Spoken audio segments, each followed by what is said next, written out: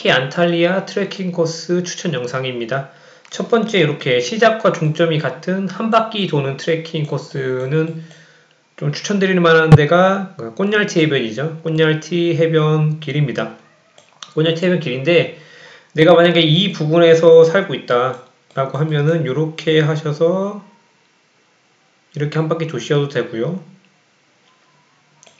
내가 만약에 이 지역에 살고 있다라고 하면은 여기서 여기서 시작해서 뭐 이렇게 도시든 이렇게 도시든 뭐 상관이 없죠. 근데 뒤에 풍경은 조금 기대하기는 힘듭니다. 풍경이 잘 보이진 않고요. 근데 여기 위에가 숲길이라서 음, 그늘이라서 뭐 해가 강한 날에는 요 트레킹 코스를 이용하시면 어떨까 생각이 들고 뭐 이렇게 좀 힘드시면 중간중간에 여기에 뭐 지금 맵상으로는 엘리베이터가 표시가 안 되는데 이렇게 보시면 여기 엘리베이터가 있거든요. 양쪽에 이렇게 파란색 이렇게 된 데가 엘리베이터입니다. 여기가 엘리베이터 하나가 있고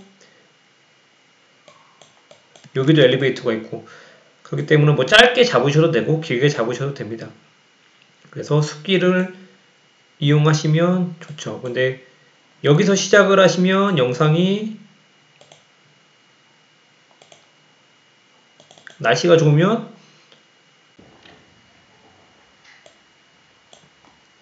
이런 풍경을 보면서 시작할 수 있습니다. 그리고 여기 안에는 숲길이다 보니까 사실 뭐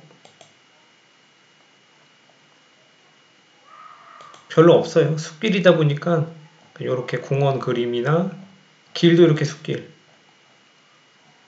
이것도 또 아기자기하게 보, 는 맛이 있기 때문에 뭐 숲길로 해서 추천을 드립니다. 이렇게 한 바퀴 어느 시점 어느 지점에서 시작을 해도 한 바퀴 돌아서 갈 수 있는 이렇게 요 산책길 하나 추천드리고요. 트레킹 코스. 두 번째 내가 요 요 뒤에 있는 요 산맥을 이 산맥이 되게 멋지거든요. 요 산맥을 다 보면서 걷고 싶다라고 하면은 이 산맥을 가장 가장 볼 수 잘 볼 수 있는 데가 여기입니다. 여기. 튀어나온 데. 여기 튀어나온 데 있죠? 이게 각도상 가장 크게 많이 볼 수가 있어요. 그래서 여기서 찍은 영상 일단은 보면은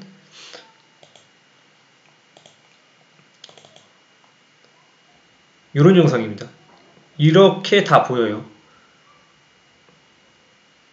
이렇게 다 보이고 개인적으로 이렇게 산을 보면서 트레킹 하시는 걸 추천드리고 이 주된 폭포라고 좀 유명하거든요. 근데 뭐 폭포가 없어서 이게 유명한 것 같아요. 그 크게 볼 건 없는데 이렇게 해서 음, 트레킹 코스로 정해서 쭉 걷는 걸 걸을 수 있을 때까지 걸으시는 걸 추천드리고 아니면 여기서 유람선 타는 것도 또 추천을 드려요. 유람선. 유람선도 있거든요. 유람선. 유람선도 멋지니까 유람선 타시는 걸 또 추천드리는데 만약에 트레킹을 하실 거면 여기서 시작하셔서 이렇게 산을 보면서 걸어가시는 방향으로 추천드리고 걸으실 수 있을 때까지 걸으시면 되고요. 어, 근데 이 산맥을 배경으로, 요 산맥을 배경으로 사진 찍기 좋은 포인트가 위치상으로는 여기거든요. 근데 여기는 펜스가 있습니다. 근데 펜스가 있어요. 펜스가 있어가지고 뒤에 펜스가 나오는데 펜스가 나오지 않는 사진 포인트가 있습니다. 여기 보시면 여기서 좀 뭐, 어, 보시면 여기거든요 여기. 여기가 뒤에 펜스가 없어가지고 사진 찍기가 아주 좋아요. 펜스 없이 사진을 찍을 수 있습니다. 여기가 펜스 없이 사진을 찍을 수 있다. 요 사진을 좀 보면은 예 이렇게 뒤에 펜스가 없어요 여기는. 그래서 사진 찍으면 잘 나옵니다. 펜스 없이 사진 찍고 싶으신 분들은 펜스, 없, 펜스 없이 요 뒤에 3매까지 다 담아서 사진 찍고 싶은 분들은 여기를 찾아가시면 될 것 같아요 여기를. 일단 여기로 찍으시고 구글로 이걸 검색하시고 여기 바로 옆이니까 여기 옆에를 찾아가시면 될 것 같고 아니면 트래킹 하시다가 찾아가셔서 여기서 사진 한방 찍고 사진 한 방 찍고 이렇게 사진 한번 찍고 가셔도 좋을 것 같습니다. 근데 어, 맑은 날은 좀 힘들어요. 해가 강한 날은 좀 걷기가 힘듭니다. 봄, 가을이 아닌 이상 여름에는 좀 걷기가 지치죠. 사진만 찍을 거면 그냥 여기만 가셔서 국 좀 구경하시고 여기 사진 찍고 돌아가시면 되지 않을까 싶습니다.